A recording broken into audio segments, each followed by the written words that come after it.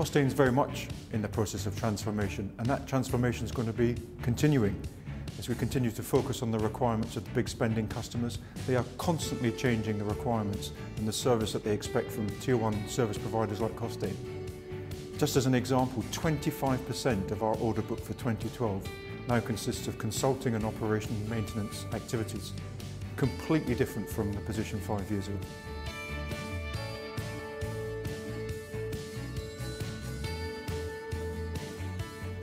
We had a very good year in 2011 and I'm delighted to say we've made an excellent start to 2012. We're extending existing contracts with customers and we're also winning important new projects. An order book today of 2.4 billion pounds.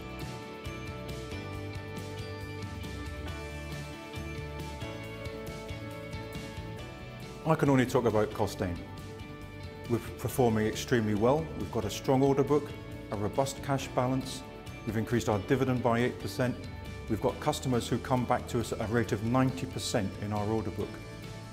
For organisations that have got a clear strategy, a clear set of objectives, are driving innovation and reducing their costs, I think there's a great opportunity irrespective of the market conditions.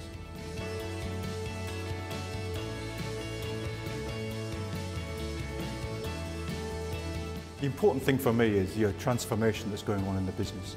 Some 25% of what we're going to be doing in 2012 is in consulting and in operation and maintenance, driven by the requirements of our big customers. We're winning important new contracts for organisations like the OPA, where we're now maintaining a national strategic pipeline. That couldn't have been possible without the acquisition of Promanex last year, where new skills were brought to the group and where our financial strength and scale allowed us to win a £60 million three-year maintenance contract really exciting opportunities for the future of this organisation.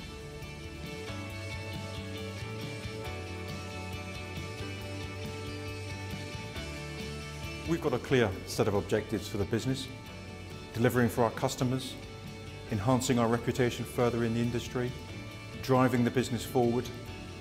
We've started the year very well, performing well, and our expectation is we're going to deliver on the rest of this year and we remain committed to our target of doubling the profit of the group over the medium term.